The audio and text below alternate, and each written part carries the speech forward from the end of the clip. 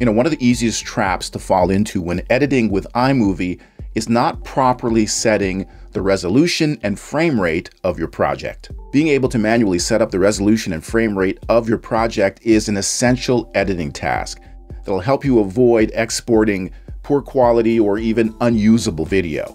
Now in other editing software like Final Cut Pro, there's a project settings menu where you can set the resolution 720p or 1080p or 4K and the frame rate, 30 frames per second or 24 or 60. There's no such menu in iMovie.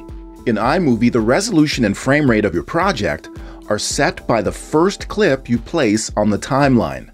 It's a clumsy, non-intuitive method for setting up an editing project and can easily lead you to unknowingly choosing the wrong resolution and frame rate for the video you're trying to make. Thankfully, there's an easy and effective way to overcome this very limited functionality in iMovie. Dummy clips. A dummy clip is a snippet of video with a preset resolution and frame rate that you use to set up your iMovie projects. And you can create a variety of dummy clips quickly and easily using Apple Keynote, the presentation software that comes bundled with every Mac, at least at the time of this recording. Let me show you.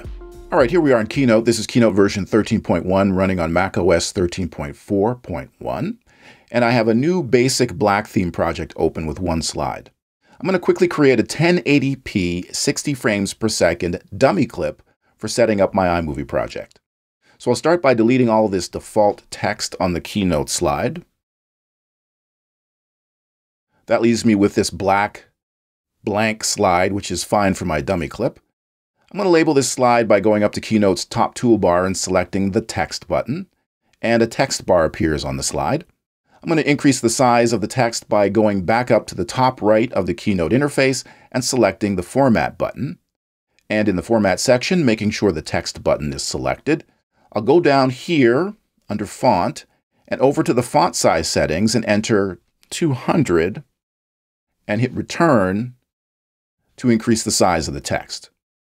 Then I'll select the text and change it to 1080p 60 for 60 frames per second, so I know at a glance what the settings of this dummy clip are. The next step is the key to this whole thing.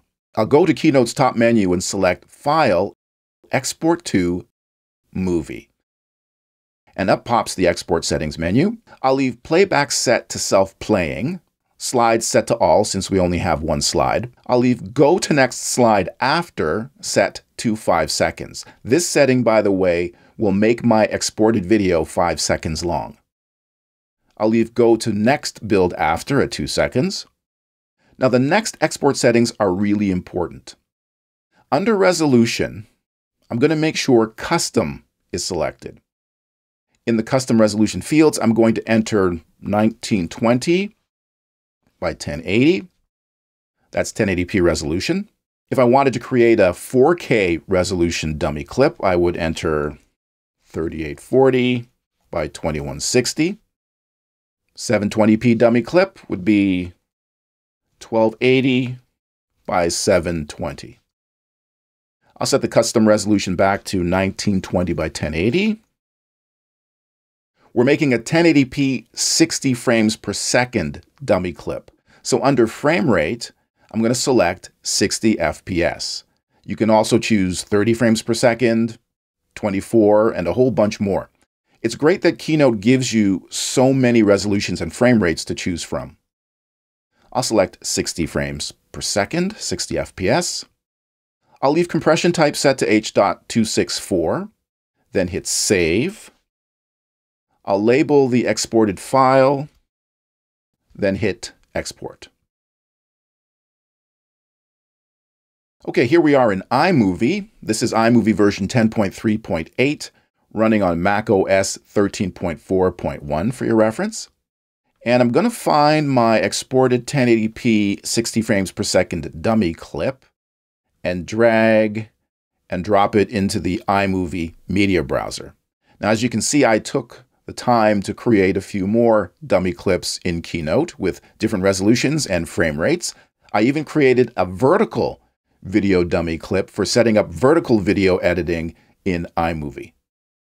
All right, I'm going to set the resolution and frame rate of this new project to 1080p 60 frames per second using the dummy clip.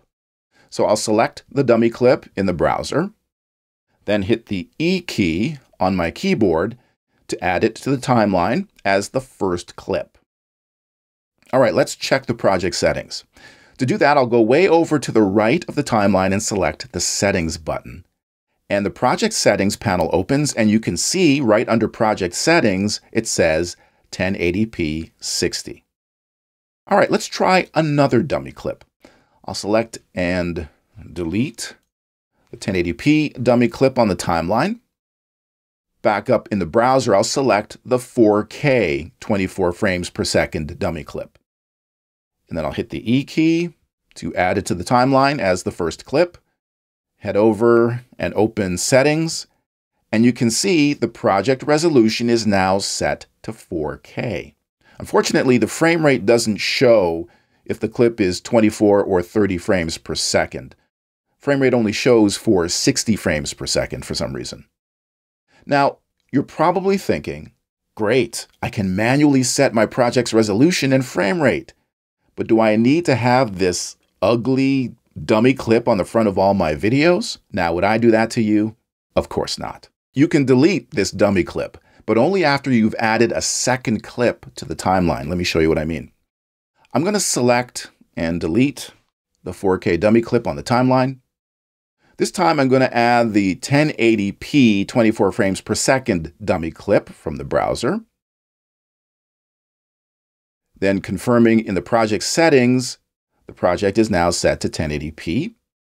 Next, I'm going to select this 4K video clip in the browser. Incidentally, if you ever want to know the resolution and frame rate of a video, just open it up in QuickTime Player. And in the QuickTime Player menu, select Window, Show Movie Inspector, or you can use the keyboard shortcut Command I.